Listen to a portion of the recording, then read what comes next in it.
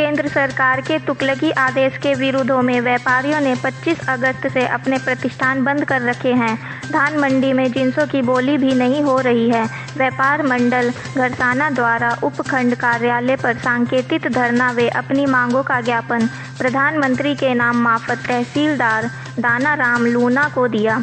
भारतीय मजदूर संघ धानक तोला घरसाना ने अपनी मांग मंडी शुल्क के आदेशों को निरस्त करने का प्रधानमंत्री के नाम उपखंड अधिकारी को ज्ञापन दिया। हमने आज उपखंड कार्यालय के आगे सांकेतिक धरना दिया और प्रधानमंत्री के नाम ज्ञापन दिया। केंद्र सरकार के तुकलकी आदेशों से व्यापारी वर्ग, मजदूर व किसान और तोला मजदूरों को उजरने का काम किया है।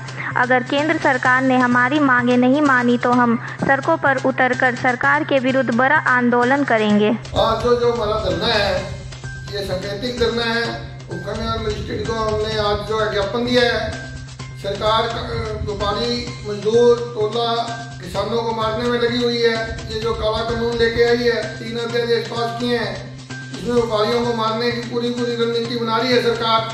और आज तो हमारा आंदोलन जो है, एक संकेतिक था, आगे हम हो सकता है इसको उग्र करना पड़े, और हमें रोड जाम करनी पड़े, हो सकता है हमें रोडों पर आनी पड़े।